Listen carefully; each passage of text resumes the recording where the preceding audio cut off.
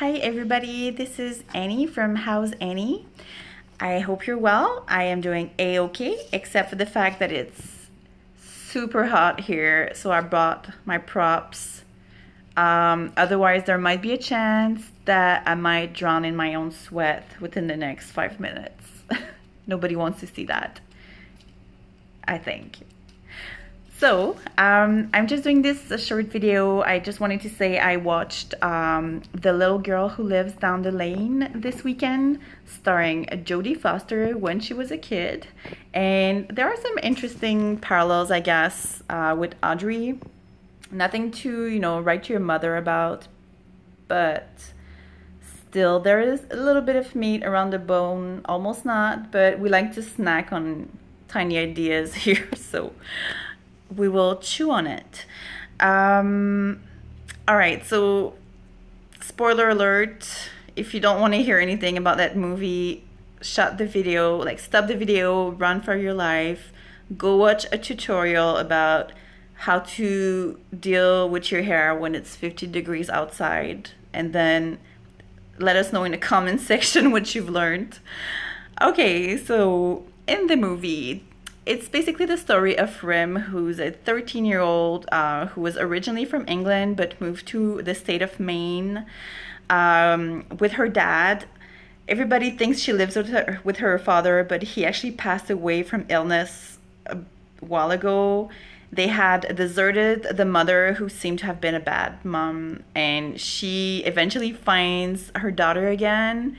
So Rynn kills her mother, and that's only the beginning of a couple of murders um, and corpses buried under that house really. It's not as grim as it sounds um, but yeah it's a bit strange. Um, I haven't I haven't read the book so there might be differences in the book if you guys have read the book and uh, there's something super special worth mentioning, please feel free to do so in the comment section, of course.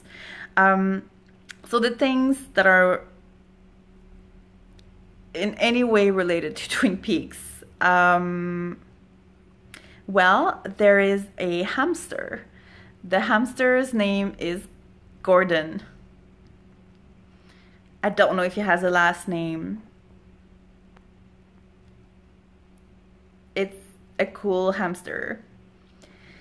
However, this hamster has a very sad and cruel ending thanks to Charlie Sheen, who's a gross sort of pedophile who clearly doesn't have any love for hamsters. So, Gordon, that's the number one link to Twin Peaks secondly, well, the fact that she doesn't really have a mother, or I mean, her dad was all right. He was a poet. The little girl actually likes Emily Dickinson. I thought I should mention that. Um, yeah, I, I, feel like they're both orphans in a way. Um, I mean, because I started wondering after watching the movie, what about Audrey's parents? Like, you do see Sylvia Horne, but it's not like the closest mother daughter relationship. And her dad was insane for half of season one and two. Um, but another thing that they have in common is that they are very independent young ladies. Um, well, they're not really that young anymore, but you know what I mean. Um, they're super fierce, resourceful, smart. They can outsmart basically anybody. Um, remember how Audrey was like almost like Cooper's investigation assistant uh, at some point. So they have like inside, like deep within, that's what they have, what they share in, in common. Um, also, another interesting thing is Rynn doesn't really have that many friends, but she meets this guy called Mario, and Mario is a magician. And as we know, magicians are pretty important in Twin Peaks. Uh, apart the, I mean, there's Red, there's the little freaky grandson, who, according to some theories, might be Red as well, and um, I mean, who chants between two worlds to fire walk with me? It's the magician, so that can be random um, and uh, Mario, her magician friend, he is crippled. He walks with a walking stick.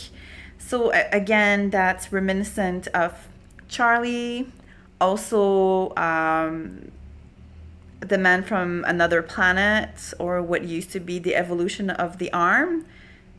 And is it necessary to remember that the evolution of the arm is the one quoting or repeating what Audrey says.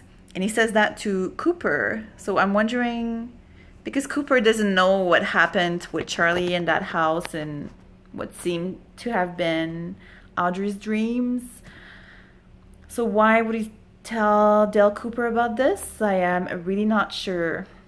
My theory right now is that this little tree with its head might act as an antenna of some sort. And, you know, it likes electricity very much, so that would almost make sense. Um, but I still, I, I don't understand what's happening with Audrey anymore. The only thing I know is that maybe if her story is the story of the little girl who lives down the lane, it brings me hope in a way because she is so badass. She'll survive at any cost. She will. And and sh she's mischievous but she's not like a bad person. She was just like put in a situation and she needs to she needs to save her own bottom so yes if i had any editing skills that five seconds ago would have been chopped off, but of course I I can't. So it's it's there, and then I spent like 30 seconds talking about what I should have edited. It's funny. It's like my trademark. Um, oh yeah, and something else, and it's super ridiculous. Like heads up, it's ridiculous. But it, when I watched it, and I don't know if you'll see. Mm, wait. oh yeah so this this i don't know if you can see oh like that is a bit better it's just something to hang your clothes on like your jacket but when i saw it it kind of a little bit slightly tiny tiny little bit tiny bit made me think of the owl symbol and judy's sign i mean obviously probably not. But, you know, when you don't have much, you take what you can and you get the most of it. so I am super intrigued why this matters. I feel like it's like the fact that they repeated it twice this season it almost feels like a red herring yet again. And it doesn't at the same time.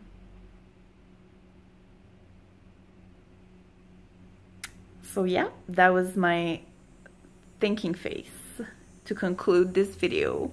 If you guys have seen it and you, if you have any more feedback or observations, please let us know in the comment section. And again, make sure to subscribe so that you know when I do another video about whatevs related to Twin Peaks, of course. And um, there's also the Facebook page, How's Annie? So there you go. And thanks for all of you guys who have been writing to me and tweeting at me and everything. You guys are awesome. I'm very much enjoying reading your feedback and your thoughts. So thank you for watching. It's really nice to have a conversation other than with myself. So there you go. I'll talk to you guys later and make sure, oh, my prop is gone. I'm gonna be like Cirque du Soleil. So make sure, make sure to use a fan so that you don't drown in your own sweat. Alrighty, bye.